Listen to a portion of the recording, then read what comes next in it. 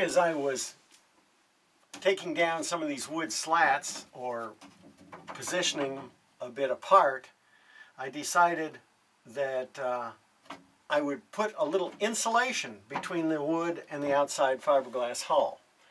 Now I really have to say that it's not critical, not necessary, because Guenevere has always been nice and toasty when it's been cold outside and actually cooler when it's been hot outside. Uh, all, all the wood makes for some good insulation on its own, but I decided I'd go ahead and add a little bit. So I'm, if you look, you can see the stringers that the uh, wood paneling is attached to, and I measured between them, and they're uh, about 16 inches, 17 inches, 16 and a half, and from top to bottom they're about three foot long.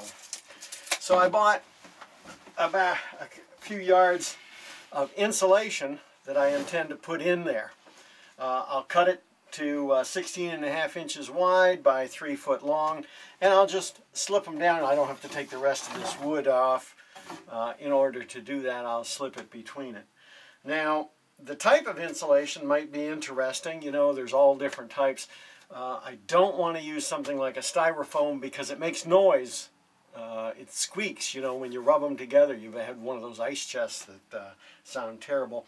They sell a very inexpensive type like this at the uh, Home Depot's, uh, Lowe's, uh, big, big hardware stores. It is bubble wrap with foil on both sides. What I've decided to go with is this is a, like a felt in the center with foil on both sides.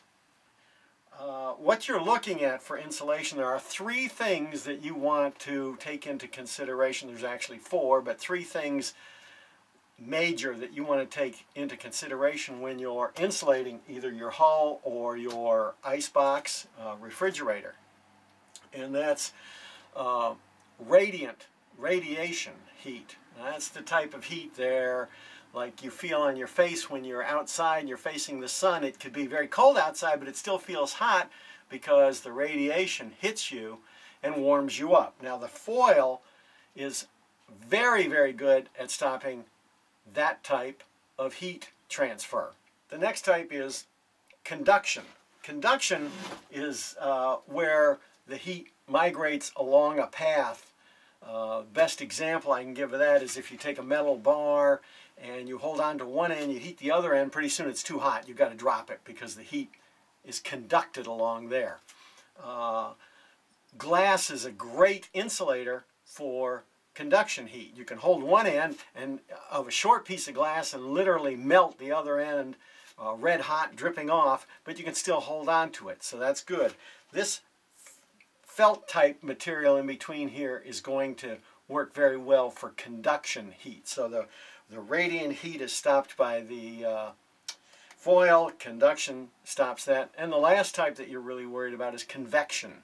So it's radiant, conduction, convection. Convection is uh, when air moves from one area to another.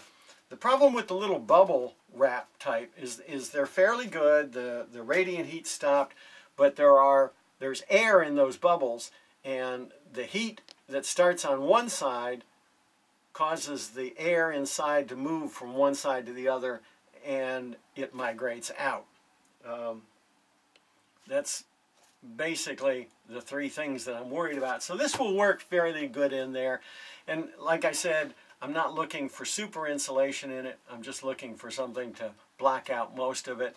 Uh, when we were in the Sea of Cortez, you can see a lot of boats hang those uh, car windshield reflectors down on the side of their boats facing the sun just outboard of their ice boxes or refrigerators trying to keep radiant heat away. Uh, good, good example I just thought of uh, for uh, the foil. Uh, I, I hear all kinds of great claims. Oh, this foil is, is only a, a mil thick and, it, and it's like R900 or something, you know it might be for radiation type heat, but you take that same thin foil like a space blanket, put it in your hand, put an ice cube on top of it. It's, it in a second you feel that ice. That's because while the foil stops the radiation, it doesn't stop the conduction of the heat. So I want to pack this up, take it to our shoreside facility right now, and uh, cut it into the strips and bring it back and I'll uh, put that in.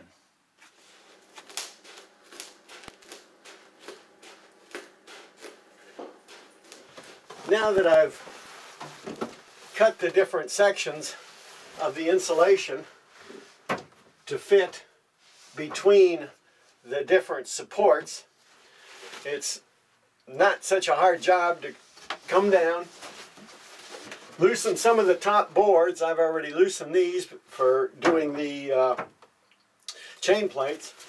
And then feed the insulation between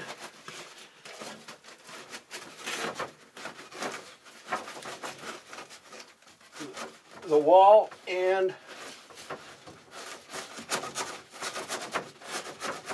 the boards, the outer hull and the boards. You can come back in once it's all the way down. I see it's all the way down here to the bottom now. You can uh, then come back with an X-Acto knife and cut little circles out for the holes to uh, fit the nuts back in. It's not critical to have this over the nuts. You can if you want. The minor loss of insulation is um, nothing to even worry about. As I said, the boat is very well insulated to begin with. This is just a little helping hand.